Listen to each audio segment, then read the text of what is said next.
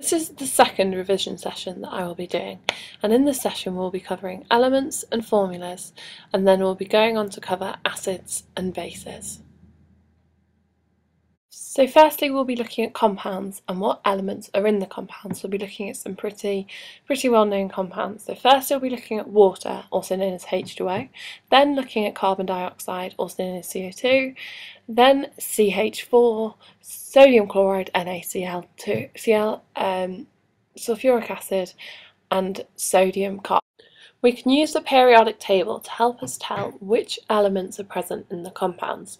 So for example, in the first compound, which is H2O, we can see there is two hydrogens and one oxygen. For carbon dioxide, we can use the periodic table to see there is one carbon, and because there's no number by it, we know there's one, and there are two oxygens denoted by the number two by the oxygen.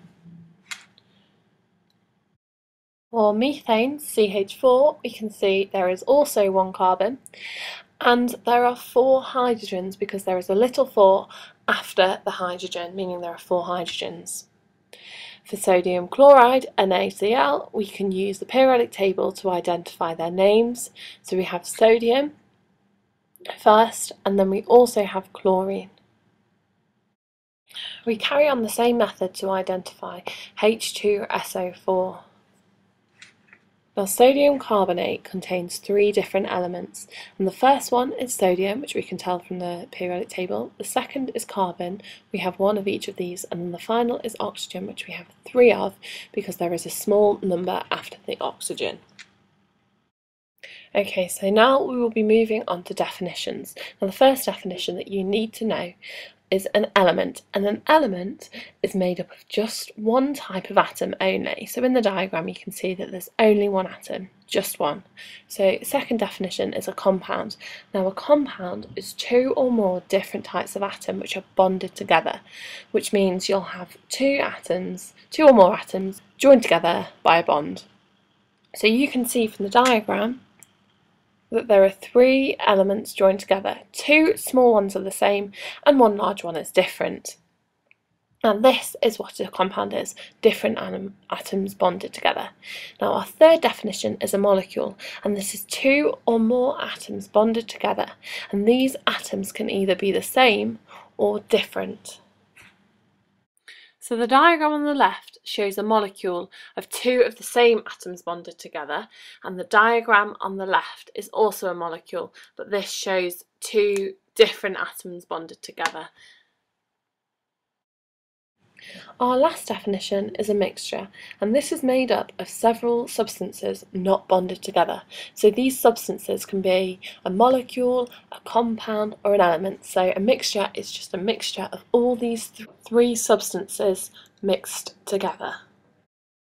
Now we will go on to look at acids and bases. Now, an acid by definition is something which has a pH less than 7 and a base is something that has a pH greater than 7. So what we look at is a pH scale and you can see acids have low pHs so they have 1 up to 6. 7 is a neutral compound um, so this would be water, water is neutral and then bases go from 7 upwards, so bases have a pH greater than 7, and this is how we can distinguish between acids and bases.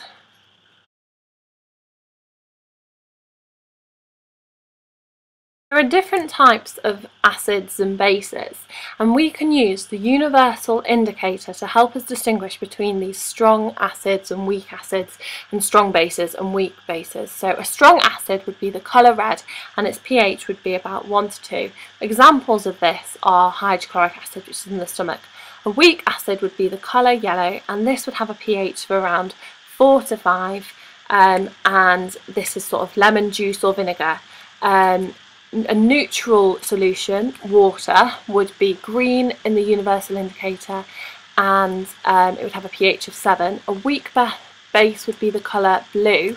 Uh, this would be around 8 to 10 and a strong base would be the colour purple and this would have a pH of around 12 to 14. There are tests that we can do to test for whether a solution is acidic or basic. These tests involve using litmus paper.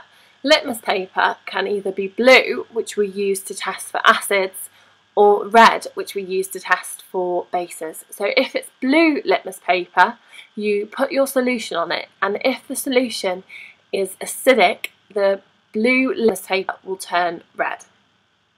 Then red litmus paper we can use to test for bases. So if you put your solution onto the red litmus paper and it turns blue, it means that your solution is acidic. However, if you are using red litmus paper to test for acids, there would be no change, but it would change, as I said, with a basic solution, the red colour would turn to blue.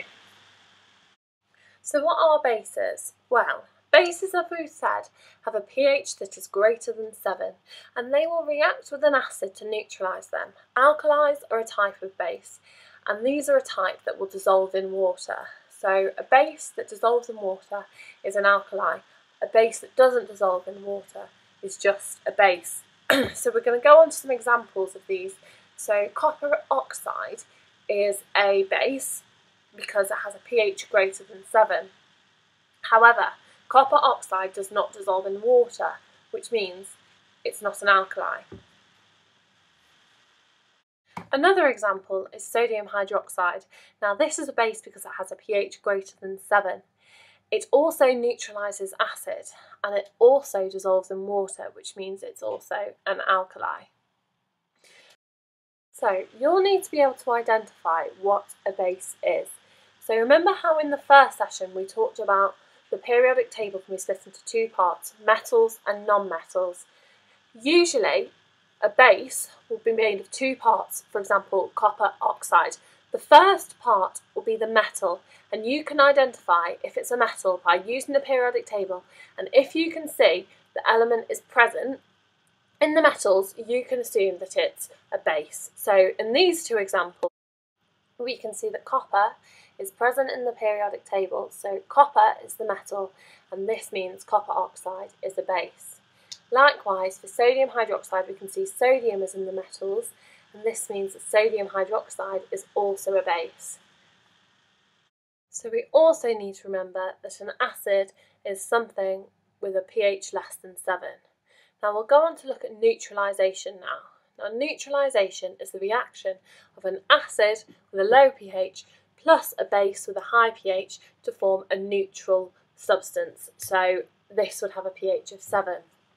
This reaction, acid plus alkali, forms a salt and water. So you will need to know how to name salts. Now naming salts is a little difficult, so I'll try to explain it easily. So what it is, is you react an acid and base together. Now you use the salt that you form in this example is sodium chloride. The name comes half from the base that you use and half from the acid. The first part of the name, sodium, comes from the base and this is the metal that is in the base. So as we discussed how you can identify a base from the metal, this metal is the first part of the name of the salt. The second part, chloride, comes from hydrochloric acid and this is something you're going to have to remember. So different acids have different ways that their names can be said. So hydrochloric acid gives the name to the salt chloride. As we see in the example, this gave sodium chloride. Sulfuric acid would give the salt the name metal sulfate. Nitric acid would give the salt the name metal nitrate. Now these are just things you're just going to have to so now we are going to do an example of an acid-alkali reaction. So the example is of hydrochloric acid plus potassium hydroxide. So remember we use the metal from the base. So the base is potassium hydroxide. So to name the salt we will use potassium. So the first part of the salt will be potassium. The second part comes from the acid, which is hydrochloric acid. Now remember, the name that we get from hydrochloric acid acid is chloride. So the name of this salt will be potassium chloride. Now also remember that in this reaction we will also form water. So the products will be potassium chloride plus water. So there are different types of acid-base reactions that you'll need to learn. So another type would be acid metal oxide and this also forms salt plus water. Now you name the salt in the same way. So in this example we've got hydrochloric acid plus calcium oxide and the salt is calcium chloride. Now another type of reaction is acid plus carbonate. Now this forms salt plus water and carbon dioxide. Remember this from acid plus carbonate has carbon in the first part so you will form carbon dioxide as your products. So in summary you need to remember four different types of reaction. So your first type will be acid plus metal forms salt plus hydrogen. Acid plus metal hydroxide forms salt plus water. Acid plus metal oxide also forms salt plus water and acid plus metal carbonate forms salt plus water and CO2. In the reaction of acid plus metal, you form salt and hydrogen, and there is a test that we can do to find if this hydrogen is present. So what you do is light a match and put this match into the test tube. Now if this match, if the flame goes off with a squeaky pop, we can tell that hydrogen is present. There is also a test for CO2, for carbon dioxide, which involves using lime water. So if the lime water, if it goes cloudy, then we can tell that CO2 is present. I hope this video has helped and good luck in your exam.